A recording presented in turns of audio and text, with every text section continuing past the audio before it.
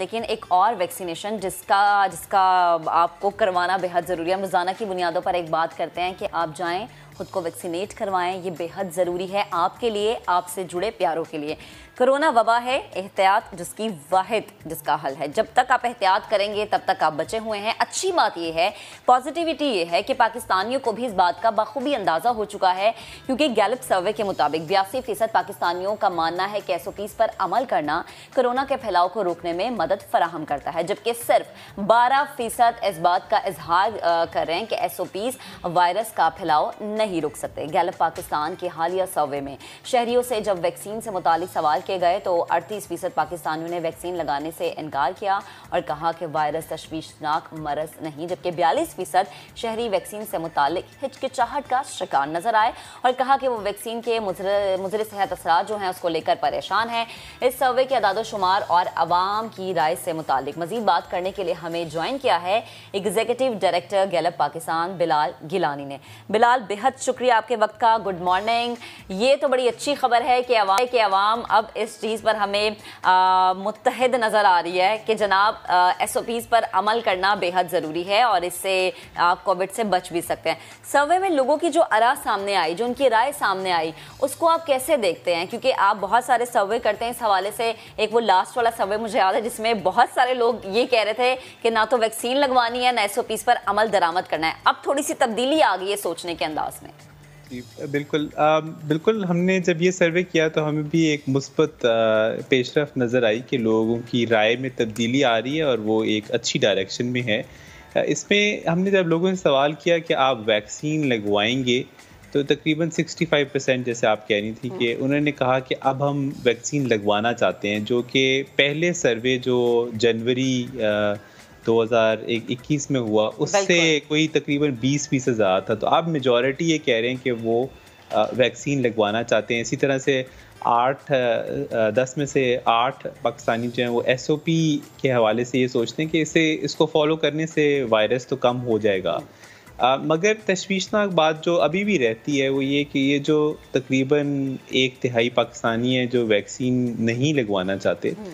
उन उनमें जो ख्याल हैं वो इस तरह के हैं कि हम हमें नहीं करोना होगा तो इसलिए हम वैक्सीन नहीं लगवाना चाहते क्योंकि करोना अगर हमें होगा ही नहीं तो हमें फिर वैक्सीन की क्या ज़रूरत है? they still believe that corona doesn't exist.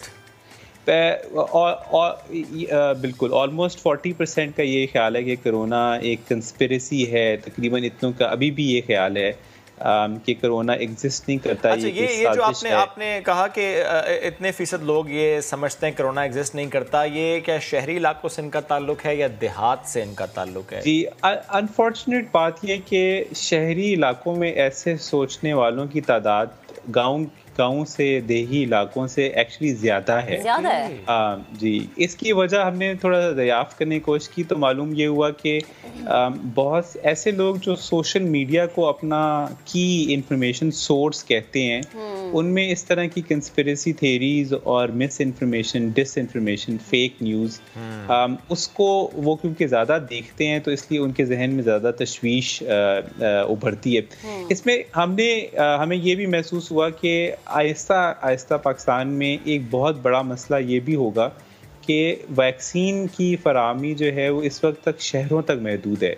हाँ। तो जैसे जैसे वैक्सीन शहर में दस्तयाब होती गई तो लोगों की हिचकिचाहट में भी कमी आती गई अच्छा। तो बाकी पाकिस्तानियों के लिए भी जब वैक्सीन उनको नज़र आएगी जब हम गाँव तक वैक्सीन पहुँचाने में कामयाब हो जाएँगे हम्म। छोटे शहरों में जब इसका स्ट्रेस होगा कि लगवाएँ हम्म। आपने शायद देखा होगा कि तकरीबन इस्लामाबाद शहर में थर्टी परसेंट इस्लामाबाद को हुकूमत का दावा है कि वैक्सीन लग चुकी है हम्म। मगर अगर आप किसी कसूर शहर चले जाएँ तो वहाँ शायद वन परसेंट भी नहीं है। वेरी राइट तो, कसूर अगर आप इंटीरियर सेंट चले जाएँगे तो वो वन परसेंट भी बहुत वहाँ पर भी तो क्योंकि वैक्सीनेशन और आई थिंक ये एक बहुत बड़ा मरला था और मैं हुकूमत को भी कंग्रेचुलेट करना चाहता हूँ कि पाकिस्तान काफ़ी अनयूजुअल नंबर्स वैक्सीनेट कर रहा है। अगर आप फॉलो करें तो तकरीबन एक दिन में सवा तीन लाख लोगों को कल वैक्सीन लगी और ये नंबर बतदरीज एक लाख से सवा तीन पे आ गया है तकरीबन बल्कि बिलाल साहब अब, अब तो ये अब तो यूँ भी कहना चाहिए कि अब वैक्सीन मौजूद है वैक्सीन लगाने वाले मौजूद हैं सेंटर्स मौजूद हैं रश नहीं है लोग कम है।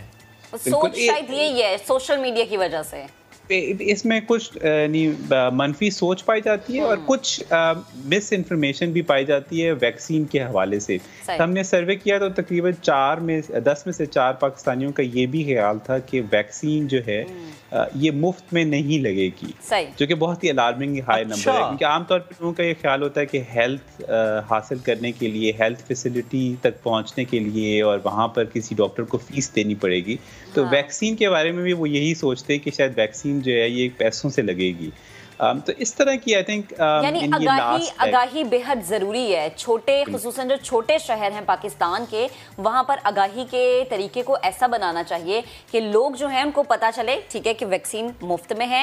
इस तरह जानना है इस तरह से कांटेक्ट करना है। और जनाब ये जो सोशल मीडिया पर अफवाहें हैं वो मीम्स आपने भी पढ़ी होंगी दो साल वाली उनको ज़रा दिमाग से निकालना है। ज़रा अब बस मुझे लास्ट में एज बता दें कि जो इनकारी नज़र आए वो क्या हमारा नौजवान तबका था ज़्यादा?